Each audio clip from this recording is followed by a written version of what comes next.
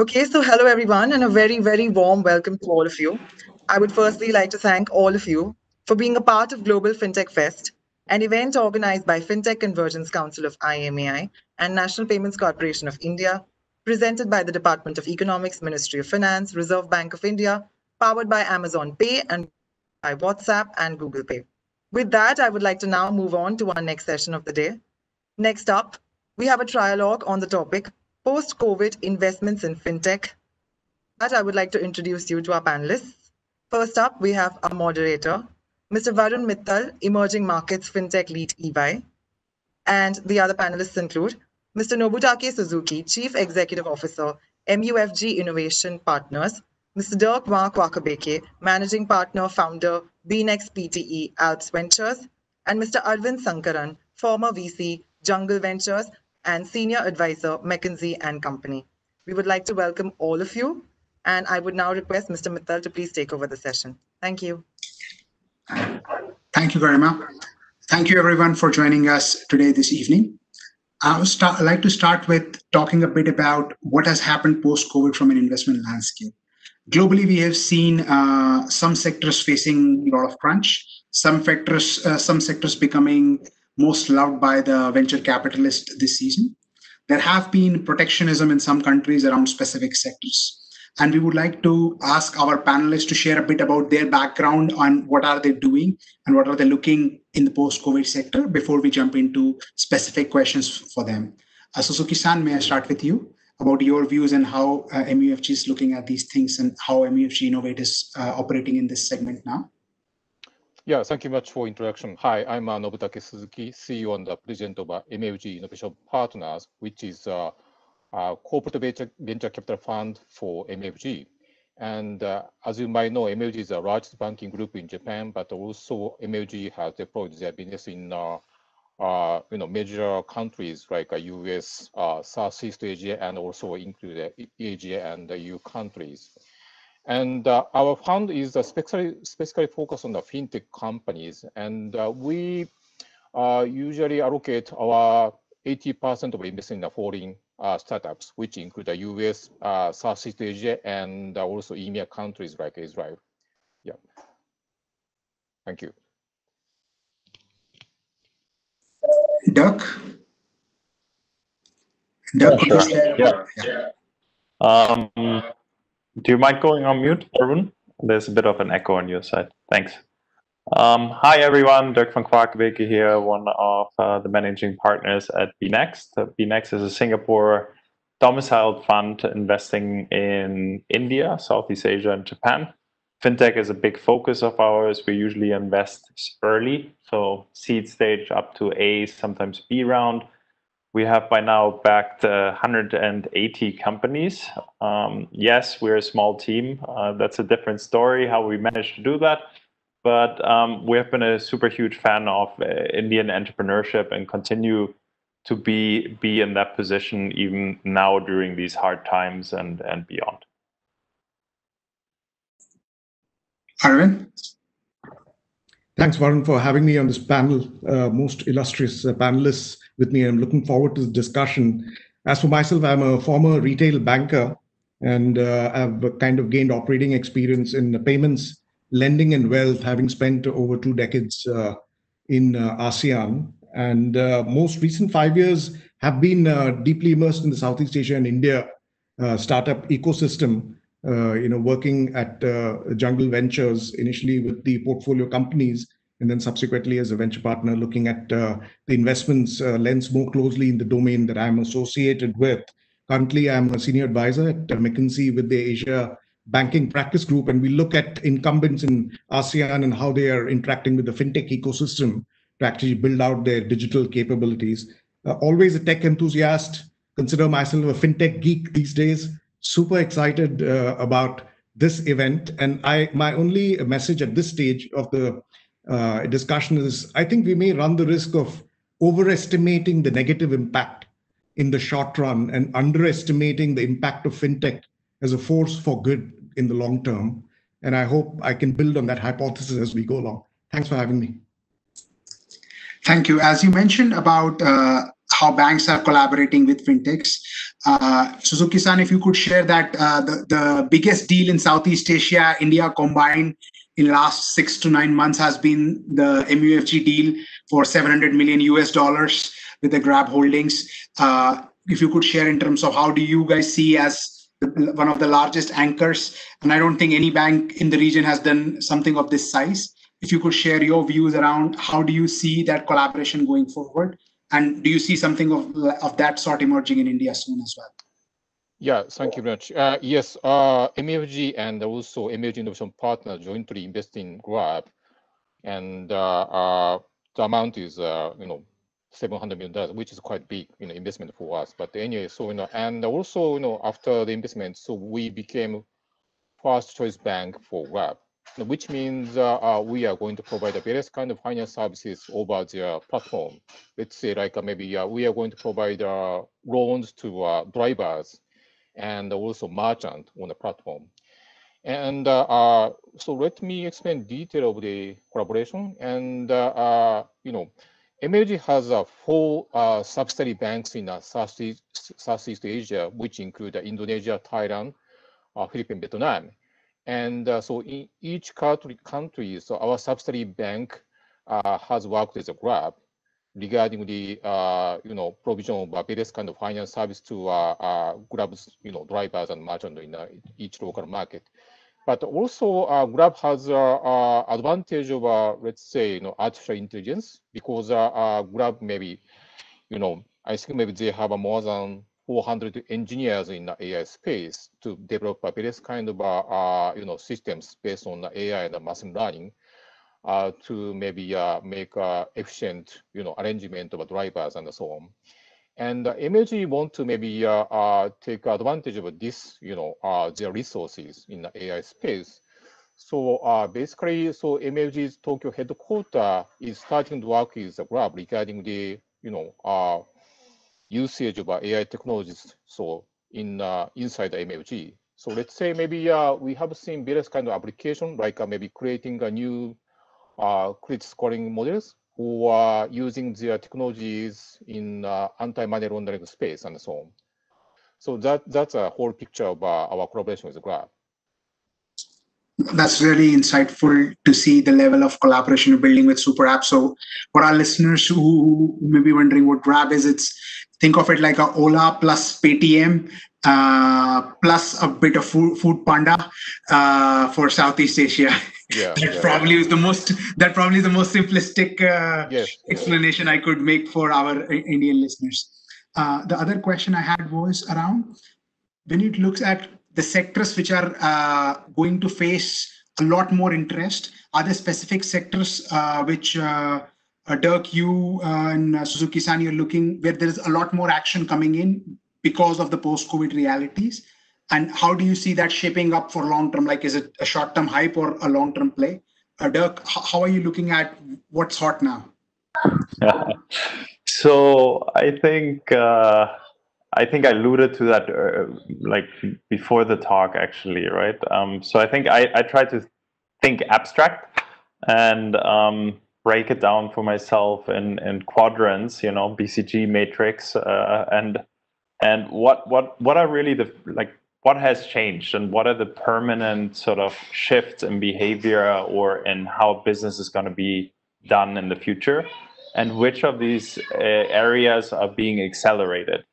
Um, and I think, I mean, in the short term, we see obviously gaming and other forms of digital entertainment going through the roof simply because there's a lot of uh, a lot of um, activity um, or a lot of time being spent online these days. I think more interestingly, I'm asking myself, what are the second order implications of sort of the hype cycles?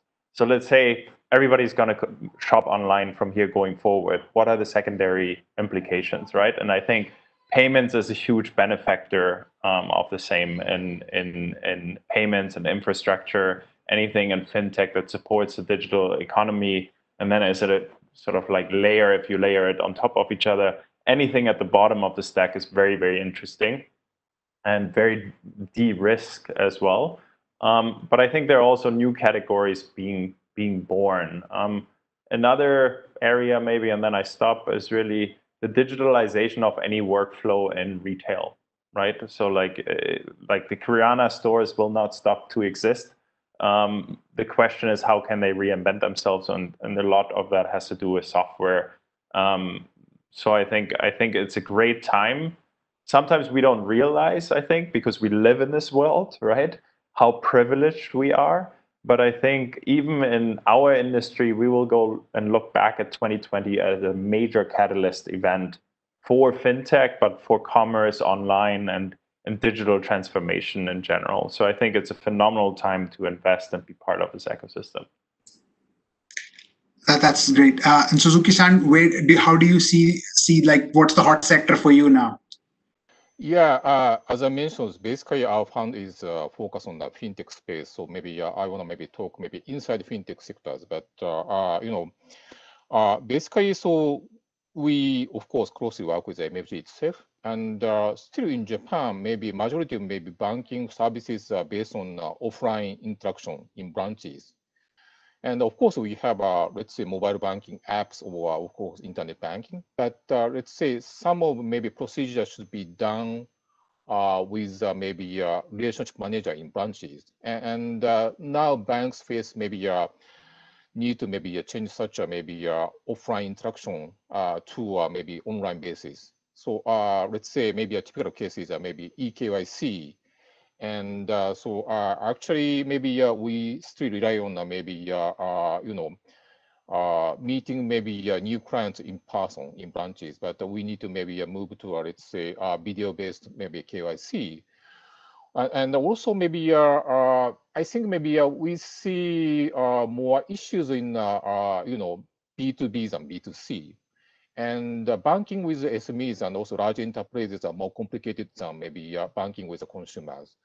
So let's say uh, if you think about maybe uh, banking service to large enterprises, uh, still maybe majority of services are maybe uh, served by relationship managers, but we need to change that. And, and so maybe let's say we might need to maybe use maybe blockchain technology in maybe let's say trade finance, or we need to maybe digitalize our maybe let's say you know uh, loan procedure to large enterprises and various kind of things. And and uh, so I think maybe uh, now maybe uh, not only MFG but also all Japanese banks need to transform them, themselves into a more uh, digitalized organization. And uh, in order to do so, I, I think banks need maybe a collaboration with fintech companies, you know, so that's a current situation that I see a lot of opportunities, you know, in uh, maybe uh, fintech companies which can provide uh, uh, this kind of solution to uh, incumbent banks. Okay, that's very helpful. And I wanted to ask one controversial question. Dirk would hate me for it. Uh, in terms of uh, the wave of protectionism you see coming around, uh, there are firewalls being created by countries. One view is that it will create new local IP, new local technologies. The other view is it will create a large number of subscale clones, which ultimately would not help uh, the local sector. And because you guys have seen these trends across the world, what do you see the this kind of banning of specific apps and local protectionism coming around uh, for investors as well as companies uh, in these markets?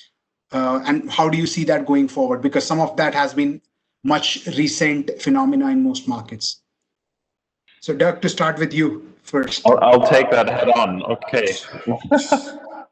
um, do you mind going on mute? Sorry, there's an echo, Varun. Um, so, in short, I'll dodge the question and I'll answer it just with uh, a or counter it with a question, right? Who, what, what is similar to a market like China, and what is different uh, in India nowadays?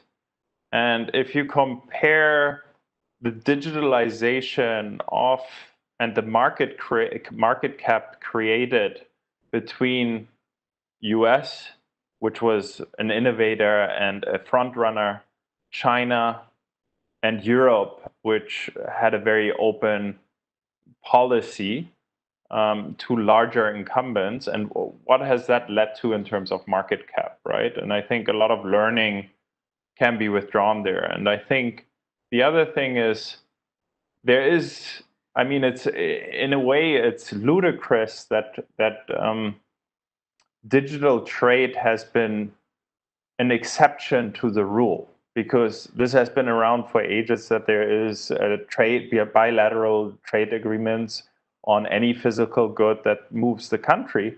But when it comes to digital attention digital consumption it somehow doesn't exist right? And it doesn't exist in europe either or at a very very small base in comparison to physical goods movement. So that just poses questions to me. I don't have a good answer you know, I think they're fair questions, fair reactions. We are at the moment a benefactor of um, some of the more recent digital um, blockings of Chinese apps in India simply because we back local entrepreneurs and especially on the content side.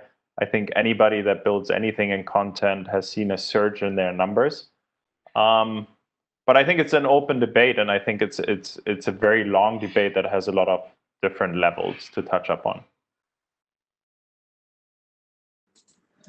And Suzuki-san, how do you see that? Because there are because you would have broader views around that from a Japanese as well as for somebody focused on ASEAN and India. Yeah, I think maybe uh, Japan Japan maybe uh, is in a very difficult position, and because uh, we are very close to China, and but also economically we are also has a very close relationship with the US. And uh, specifically, maybe regarding MFG, MFG has a large business in the States, but also we have a large operation in China too. And uh, so maybe we, we, need to balance maybe uh, those maybe uh, uh countries and, uh, you know, not by MFG, but also maybe as a country. And uh, I think maybe, you know, let, let's say maybe, you know, so may, maybe, uh, but uh, I can say maybe Japan is in a very unique position because uh, uh we can be a kind of maybe an intermediator between maybe uh, uh, these maybe two maybe countries, and so maybe we might also maybe take advantage of such position too. So it might maybe sound weird, but that's maybe you know way maybe Japanese maybe Japan or maybe Japanese companies can maybe how can I say, maybe take advantage, maybe, you know, yeah. I, don't know, this is maybe uh, your maybe uh, answer to your question, but uh, yeah. yeah. So fully, fully, fully see the, I mean, I see the bright light on that, that uh, Japan could actually be a winner out of all of this by being the uh, neutral party and having good relationship with almost everybody from that perspective. Uh, the, the other question I had was regarding the current challenges in terms of uh, some entrepreneurs are facing this challenge that should they take down rounds or should they uh, for extending their runway or should they cut their size? So some startups are looking at layoffs and saying okay keep survive live to fight another day. So that's one school of thought. Another school of thought is double down in this period because others will go out. So from those like and that few different schools of thoughts as well. So do you see do you guys see at least in your portfolios where are what's the priority like one is cut down whatever is bare minimum and live to fight another day versus doubling down and uh, using that to scale up at this time because the others are down. Uh, and suzuki-san maybe just starting from you that uh, do you see any specific preference in your portfolio as your portfolio managers as well as as an investor from your side? Yeah i think uh, maybe uh, you know under the current circumstance maybe uh, uh, i haven't seen any down rounds uh, in my portfolio companies yet because uh, my portfolio companies are well funded by uh, uh you know top tier VCs in uh, various countries. Uh, so I'm very much comfortable with the maybe current situation, but also maybe personally I see maybe some startups maybe you know which have difficulties, and especially maybe if you are in a weaker position and you only have maybe you know very short term maybe runway, uh, in some cases maybe you have to accept maybe uh, uh, you know disfavor maybe your condition uh, by investors. And uh, but uh, I, I think maybe uh, if you see about if you think about maybe top tier startups in each sector, maybe uh, they are kind of maybe immune to uh, maybe current situation and uh, they still maintain their maybe uh, uh, variation and under the current circumstances, maybe uh, you know, but maybe uh, they can also maybe take money from investors with a very you know good conditions, and uh, I think maybe, uh, but uh, also maybe uh, it is important for maybe entrepreneurs now to maybe uh, uh you know maybe you, you have to see maybe current situation maybe you know in maybe longer term maybe perspective because we used to think maybe a current maybe COVID-19 situation might end soon, but reality is maybe uh, it might maybe uh, take longer time to maybe uh, go back to maybe normal maybe situation. So it might last, I don't know, but maybe at least maybe 18 to 24 months to maybe go back to maybe normal situation. So which means that maybe uh, we should be cautious and we should be prepared for maybe such a maybe worst scenario. So and uh, in order to maybe prepare for maybe such a circumstance, maybe uh, obviously may I recommend maybe my portfolio companies to maybe uh, pay attention to maybe every every ex expense and also every new investment. So that that's my idea. Uh, Arun, uh, uh, Suzuki-san shared very uh, specific that uh, he's advising his portfolio companies to be prepared for 18 to 24 month uh, time before things are normal or close to normal and are prone the expenses and stuff. What are you looking in your portfolio and the companies you work with? And are you advising some similar timelines? Yeah, I think the uh, if you you know use a framework, and I like Dirk's approach to these things. You know, uh, try and have a framework and look at things through that. I think there are uh, three participants to this whole economy. You have the state, uh, which are you know governments and nations building infrastructure and providing you know kind of relief measures and subsidies and investment capital. Then you have the uh, market, which is uh, you know essentially investors who are kind of helping with the with the risk capital, and then you have the uh, you know the the players or the communities, the founders and the marketplaces that they you know uh, live in and create ideas and create value in. If you use that and look at each one of the for the founders, what we are advising is no different from you know what uh, you know Dirk or Nobutake-san uh, mentioned. I think it's about uh, you know conserving capital, keeping cash you know really precious, and uh, I think it, uh, sectors vary where demand has been hit obviously, you know, one has to look very carefully at, you know, uh, what are the current projects to build tech, to build partnerships, to build business development, and really, you know, wisely use budgets there and also at the same time look at data coming through on demand formation because surely demand will return in some shape or form i don't expect that the behavior will swing to one and there will be a reversion it's just we don't know how much will there be a permanent loss of uh, demand so to speak, in some of those sectors. So I think that's something that one has to be uh, cautious about. So that's uh, as far as the uh, you know founders are concerned. I think it's uh, like someone mentioned, the fixed cost is a difficult you know kind of challenge to deal with, and a big chunk of fixed cost is people, and uh, therefore you know having to make some very tough uh, trade-offs in terms of rationalizing your fixed costs is what challenge I guess founders are most kind of concerned about, but they need to make those difficult decisions to live to fight another day. So that's the uh, advice uh, that you know is uh, coming across the board. But I think yet there is a constructive view, and that's what we were talking about before we got into this panel, which I think you know in the longer term there is. I think uh, definitely VCs uh, don't want to waste this crisis, so to speak. So I think there is a keen eye on emerging uh, opportunities. So certainly, you know, either the very early who are still kind of busy building product, or the ones who are at a later stage. So if you look at Singapore, for example, the fintech ecosystem raised uh, almost 500 million Singapore dollars in the first half of 2020.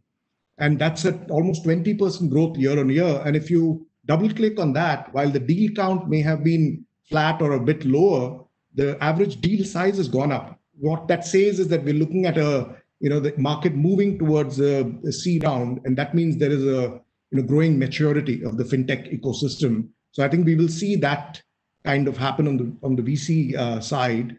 On the players and the founders, I think there's a great opportunity beyond this. And we were talking about you know the whole thesis shifting, in particular India, where India is leading in many ways in how uh, this space is uh, being looked at as a public good. I think the government has uh, identified, uh, you know, building infrastructure in this as a public good. They're putting it alongside health and education as other traditional sectors that receive this kind of uh, you know support from the government. And there's a big push now for private sector innovation to build on top of the you know the public good infrastructure. Of course, there is a you know a healthy debate. Even yesterday, there was one on how do uh, how does the private uh, innovator get compensated for taking risk to build you know commercially viable innovation on top of this public infrastructure. But I think that's where I think there's going to be an excitement going forward. And to that extent, I see uh, out of this, I think sectors like retail beginning to re uh, orient themselves to the next 500 million. I think we will look at a lot more deeper penetration to tier two, tier three, you know, markets. I think there will be a, a reversion to the community. I think that's going to be a big play, and therefore, I think for me, the big theme that I've been watching over the last few years is Kirana and their role in lo- local communities we have 13 million kiranas in India, accounting for 90% of retail trade, which is something like 400 billion. They've always remained profitable in their low margin business. They have the trust of communities. And there are a number of companies like SnapBiz, Khatabook, Jumbotail, all these are digitizing stores. And then you have larger companies like Metro who are disrupting the, you know, the, the, the way uh, wholesalers have traditionally supplied to them. And FMCG brands are now coming in very strongly because these this sector is no longer data dark. There is transaction analytics and data available. So I think that convergence and going to the next uh, 500 million, I think is going to be a very strong uh, kind of push that I'm excited about that I see founders moving toward. That's perfect. And Dirk, uh, coming to you on that, so do you see like where's uh, in terms of like he specifically mentioned, Arvind mentioned opportunity. So do you see, firstly, do you see already cutting down the cost, down rounds and layoffs becoming the norm in your portfolio is in their specific sectors and peers and specifically like what's the next pillar and or next target they're looking at to live to fight another day yeah sure um, i think a few points maybe number one when when we reacted on this and we said um, to contextualize it very very early right in the stack that means our average runway before you started raising was maybe three to six months historically pre-COVID, and you would be usually okay if you're a good to great company. Um, I think now I would advise companies to start thinking about fundraising a little bit earlier. That's one.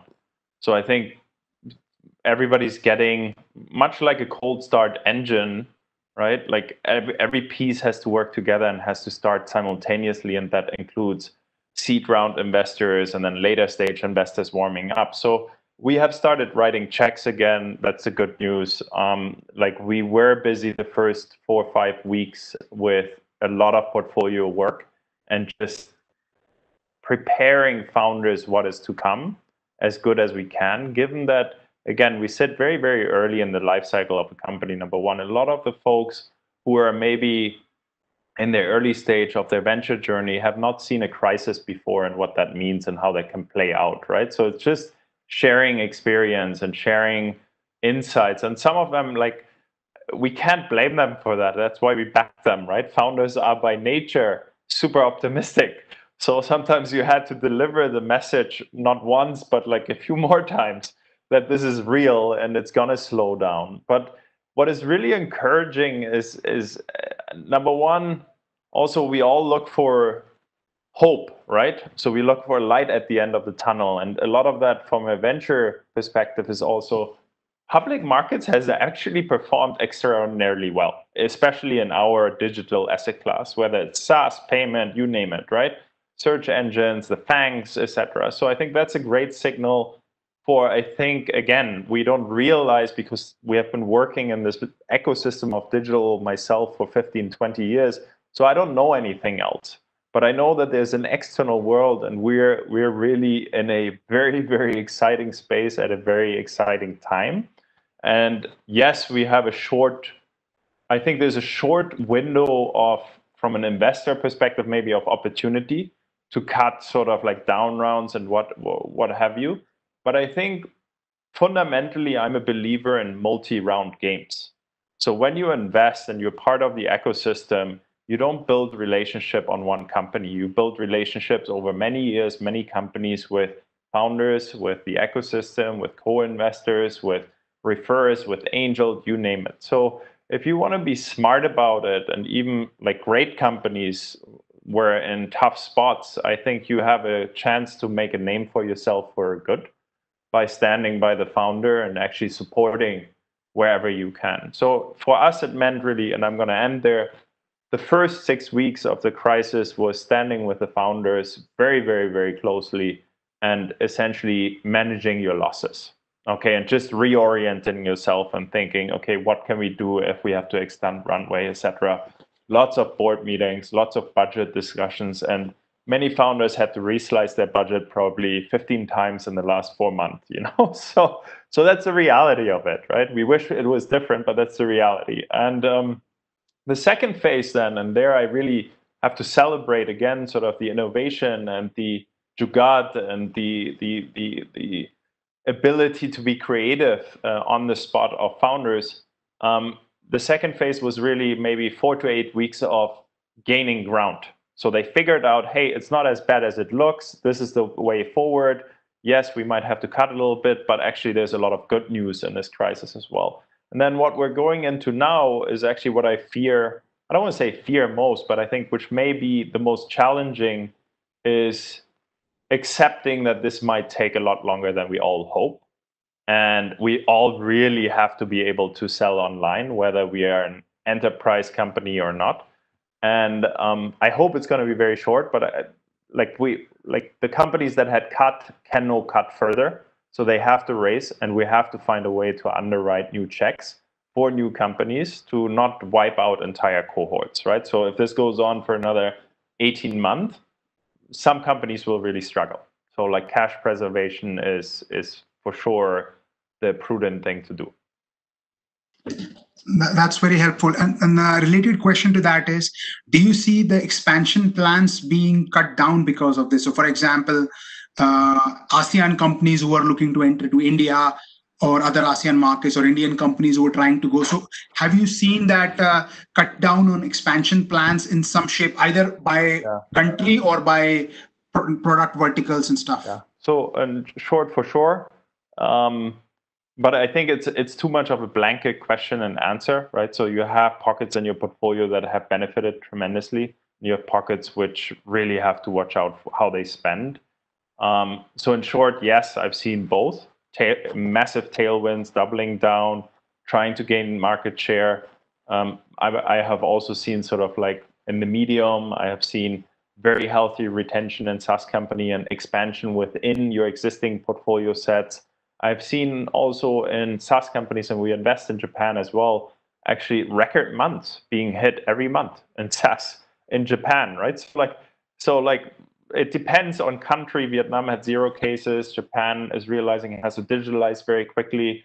Uh, India is in a very hard lockdown situation. So I think it really like the lead indicator is how COVID is expanding in that country and how people are thinking from a business mindset perspective and then obviously you know like fundamental like how, what's the gdp per capita what's the gdp for the country? But i stopped there. Um, would love to hear also suzuki and um, arvind's opinion exactly. Suzuki-san what do you what do you feel from that perspective? Because uh, dirk mentioned about japan uh, and you look at rest of southeast asia as well. Do you see like changes in expansion plan and what's driving them upwards or downwards?